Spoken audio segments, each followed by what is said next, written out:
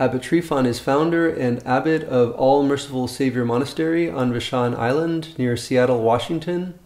He wrote the book Morning Offering and blogs and podcasts regularly under that name as well. In October of 2018, I attended the annual conference of the Brotherhood of St. Moses the Black in Columbia, South Carolina, uh, where Abbot Tryphon was the keynote speaker.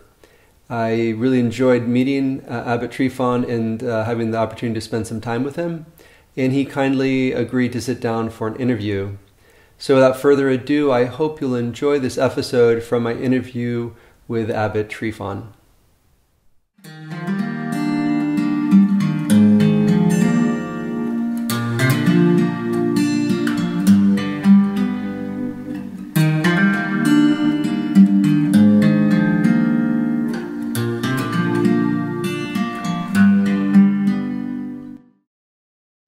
The late uh, Archbishop Averki of Jordanville, the Holy Trinity Monastery in Jordanville, uh, has a, a, saying that has become quite well known among many of us. Uh, he referred to converts as being like envelopes, that they have a tendency to come unglued. And, uh, and we've all seen people like that, new to Orthodoxy. Uh, I was like that uh, when I first became Orthodox and I became a monk early on in that journey, uh, where everything that had anything to do with the externals of orthodoxy was so important. I can remember um, as a new monk some 40 years ago of standing in the church and making the sign of the cross in a perfect way and doing the perfect bow, and then noticing whether the bishop or other priests were doing it likewise. And if they weren't, then I somehow dismissed them. Uh, I even had the uh, I even had the arrogance of judging a priest whether he had a beard or not, or whether he had an uncut beard if he had a beard, or whether he let his hair grow in the tradition of the church. And if they if his hair was short and his beard was trimmed, I, I dismissed him as not really being serious. Uh, I've also, like many, have witnessed converts standing in church, in the front of the church, uh, and doing all these almost exaggerated forms of worship uh, so that, that they will be seen by men, which Jesus talks about when he talks about what the Pharisees do, that it's not, uh, it's not from the heart, like, like um, the publican who's in the back of the temple hiding behind a pillar, beating his breast and saying, Lord, have mercy on me, a sinner. But I, but it's like this, I thank God like I, that I'm not like uh, say that publican over there. We have to be careful as as as Orthodox Christians. So my advice to someone who's looking into orthodoxy is to take a close look, not at what your people, what other people are doing in church, but what is happening when we enter into the divine liturgy we are not just doing some sort of a, a religious ceremony. Because the divine liturgy, every divine liturgy, is a is a is an entrance into a place where there's neither time nor space. We enter into the heavenly realm. I remember as a as a new priest, I, I confessed to a friend of mine that I was keeping a journal about how many people were in liturgies for the feast days and liturgies on Sundays. He said, "Why are you doing that?" And I said, "Well, I want to be sure that that we're we're bringing in new people and new new people into the church, and and uh, and so I'm concerned about it. You know, if we don't have five people in church, or we're going to have forty people in church, and I want to see us to grow." And he said, Why are you worried about numbers? Your church is packed every Sunday. And I said, No, it isn't. He says, Yes, it is.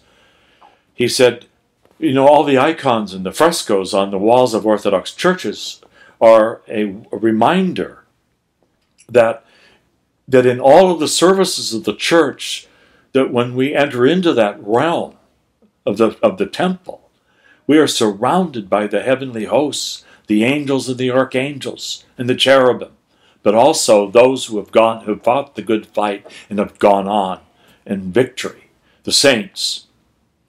And he said, those icons aren't just depictions of people that are dead and gone. They are people who have who are part of the church triumphant in heaven. And when we enter into the liturgy, it's not just us here, but in the church militant, it's the church triumphant joining us. So we're the two parts of the church are together during that part. And so our churches are packed, even if it's just the priest and the server, the church is packed. Remember that, he said. And I've never forgotten that. So I would, I would have to say that as Christians, uh, as people who are, are, joining the church, to, to remember that uh, in, in the forefront of our thinking when we enter into a temple, is that we are entering into the heavenly realm. We don't have to wait to quote the old uh, uh, spiritual, um, the great by and by. We don't have to wait until the great by and by when we enter into the heavenly banquet. Every time we enter into the divine liturgy, we are entering into the heavenly banquet. We are participants in the heavenly banquet. In the here and now, just as well we, we will be when we've entered through uh, the gates of paradise. And, uh, and this is really important. For those who are sort of on the fence about whether they should be Orthodox or not, I would say this give it a chance. Uh, for some people like myself, my first experience with the Divine Liturgy was almost overwhelming. It was like, oh my gosh, I've come home. For other people, it seemed so foreign and weird. As one person said, uh, he said, uh, you know, it's sort of orthodoxy is sort of like Catholicism on steroids. And I like that term. I mean, we are in a way. We, we are we don't leave anything out. We have everything. But sometimes for some people it takes a little time to let what orthodoxy is soak in. And then once they have let it soak in, they can't turn away. Even when they have dysfunctional priests or, or uh, are scandalized by the behavior of some of their fellow parishioners, they can't leave because they've discovered the heavenly realm and they, they don't want to ever leave that. They, they always want to be there. Always. And, and that's the great blessing of being patient with ourselves and letting God do the work and, uh, and I would also add that if we're going to imitate anyone uh, and learn how to live our orthodoxy and how to worship in an Orthodox church, keep your eyes out and find the kindly old woman who is greeting you with a smile and glad to see you're there. Find the old man who uh, comes in, as I've seen before, an old man that came into our cathedral in San Francisco in a walker. And it was a struggle for him. And the amazing thing was that his wife was in a wheelchair. And somebody else was pushing her. And I saw the most remarkable thing. She was helped up out of her wheelchair. And she went around with, a, with two canes and venerated the icons in the church before the liturgy began. And you could tell it was a struggle for her. And she wasn't in the wheelchair, she was walking with canes with a husband that had a walker. And the love that these people had for Christ and his saints was was easy to see on their faces. It, it, it so moved me to see that. Those are the kind of people we want to imitate. And those are the kind of people we want to pray to God for the grace that we can become like them. Not that we have to be in a wheelchair or, or walking with a walker, but that we have the heart that they have. That's what I want. I want to be like them. I want to be like my late spiritual father who, who served with such joy. It was said of Archimandrite Dimitri that, that he would actually see the angels accompany uh, the priest during the Divine Liturgy, uh, during the Great Entrance. Uh, and if you were in the altar with him, you, you would see his face become transformed and you knew it was true what people said of him, that he could see the angels. It was true that he could see the fire that came down and consumed the gifts during during the epiclesis.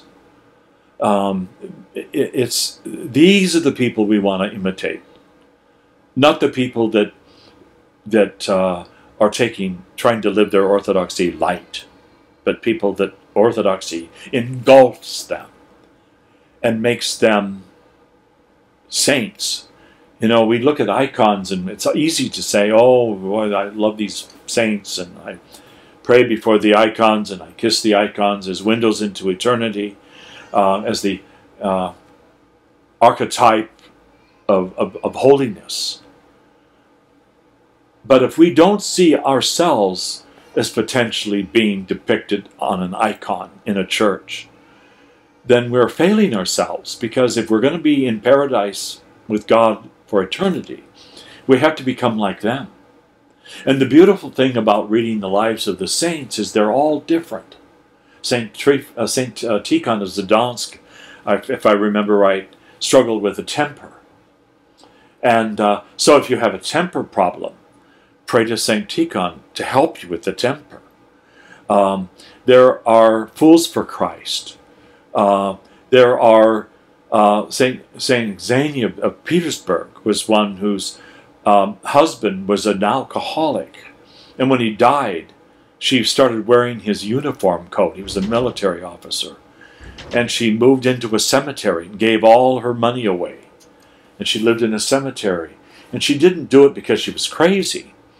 She did it because she offered herself up as a living sacrifice for the husband that she was afraid had missed out on paradise because of his life. And so these are, and St. Moses the Black is another example of somebody who was a, a, a, uh, a led, led a, a, gang that would attack people uh, on rural roads and rob them and beat them. And when he had his conversion after uh, after confronting a saint and stealing money, and the saint called out as they were going away and said, Wait a minute, you forgot this. And he gave him another coin. He said, This was in my hand. Take this. You must need it more than I. And that so impressed Moses that he ended up becoming a monastic himself and became a saint. Uh, we have all these images of, of sanctity, and they're all different. And that's good because we're all different. We're sort of like my favorite flower is the dahlia. And there are over 3,000 variety of dahlia, and they're all the same. And interesting about the dahlias, unlike roses that have a beautiful scent, dahlias have no scent. And, and uh, our monastery, uh, we have lots of dahlia. And, and I remember one time we had 34 variety of dahlia. And there was one that was about this size, and it was perfectly round, and it was orange and it looked like a little Japanese lantern. And then there was another dahlia that was called a dinner plate dahlia, and it was about this big, and it was red, and you couldn't even put it in a vase with a stem because it would plop over from the weight. So you would clip it off and put it in a, in a bowl of water. They're called dinner plate dahlias. And, uh, and then all in between, all these colors. And what I love about the dahlia is it's like us. We are all different. And just like in our Orthodox churches, you look around and we don't want to let our churches be just Russians or just Greeks or just Arabs. We want our churches to be packed with, with all the dahlias of the garden. And I'm convinced that God created the dahlia in order to inspire us to have our churches filled with the multiple variety of human of humanity, where we love on each other as we're worshiping worshiping before the throne of God. Hi again, hope you enjoyed this episode from my interview with Abbot Tryphon. Please subscribe below to get notified when new episodes become available, which happens every Friday. And also, if you would, please comment below letting me know what you thought of this video. Have a great weekend, and we'll see you next week.